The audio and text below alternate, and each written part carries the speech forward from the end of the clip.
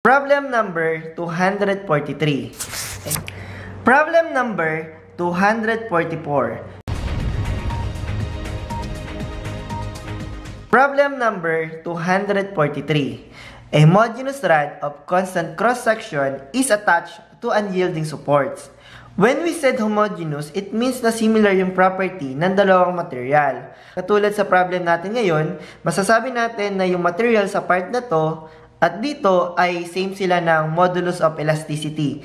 And when we said unyielding support, para mas madaling i-define is hindi magkakaroon ng deformation or ng movement dito sa ating support. It carries an actual load P applied as shown. Prove that the reactions are given by R1 is equal to PB over L and R2 is equal to PA over L. So this problem is uh, proving. I-denote natin na L yung total length ng beam Therefore, L is equal to A plus B. Then next, by taking the free body diagram of this member, take summation forces horizontal is equal to 0. R1 plus R2 minus P is equal to 0. By rewriting this equation, R2 is equal to P minus R1. I-denote natin to as equation 1. Paghiwalayin ko naman yung member na to. Yung member na to, eto yun, at ang nag-aak sa kanya ng force is yung R1. Dito naman, yung member na to, ito yon at yung nag-aak sa kanya ng force is yung R2. Take note that P is an applied force. Kapag pinaghiwalay natin sila, hindi nalilitaw yung P. Ang lilitaw na dito is yung internal force. Hindi nalilitaw yung P because P is an external force. I-denote natin yung bar na to as bar 1 and this one is bar 2.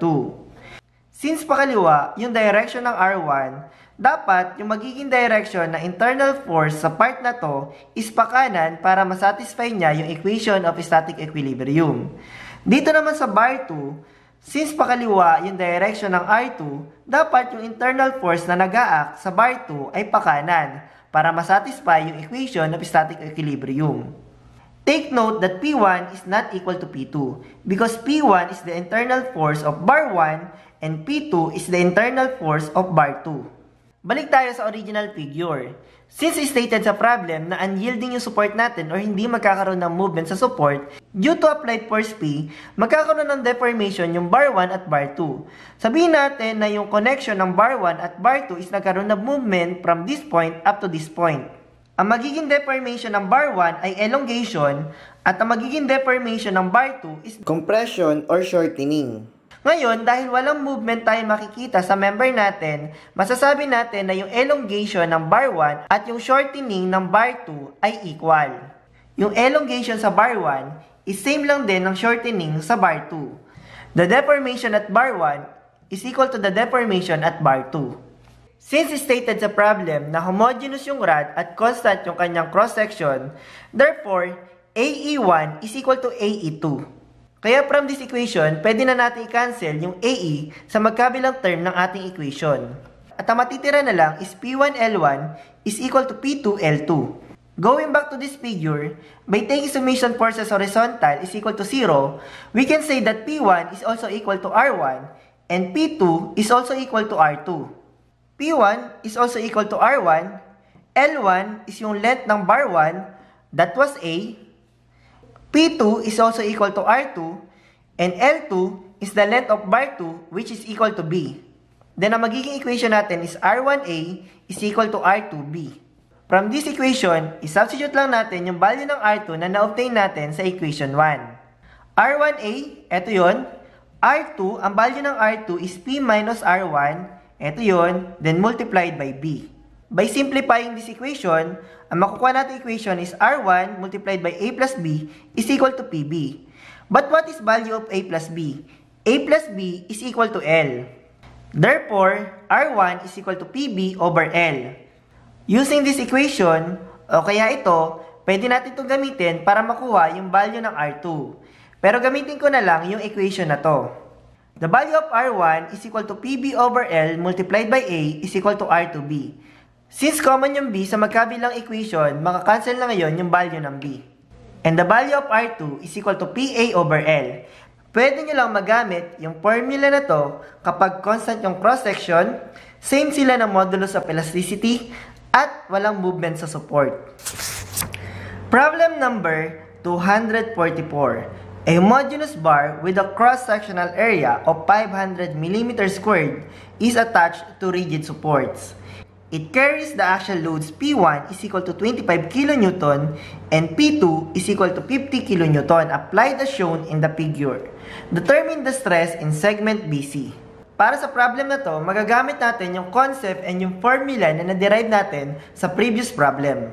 Para may apply yung formula na to ng R1 at R2 na na-derive natin sa previous problem, dito sa bar na given sa problem na to, hatiin natin yung bar na to na kung saan isa-isang force lang muna yung nag-aak. Para dito sa figure na to, force P1 lang muna yung nag-aak, at para naman sa bar na to, yung force P2 lang muna yung nag-aak. Tawagin ko na yung reaction na to due to P1 is RA1 at dito naman ay RD1. At para dito naman, Tawagin ko to na RA2 due to P2 at ito naman ay RD2. And RA1 plus RA2 is equal to RA and RD1 plus RD2 is equal to RD. Magagamit na natin ngayon yung formula na to. On this figure, solving for the value of RA1, RA is equal to PB over L, P1 is equal to 25 kN, B is equal to 2.1 meters, and L is the total length, 2.70. Then the value of RA1 is equal to 19.44 kN. Para naman sa RA2, gagamitin lang natin ulit yung formula na PB over L. P is equal to P2, 50 kN. B is equal to 0.90 meters and total length is 2.70 meters. Then the value of RA2 is equal to 16.67 kN. Mamaya malalaman nyo kung bakit hindi ko na sinolve yung value ng RD1 at RD2.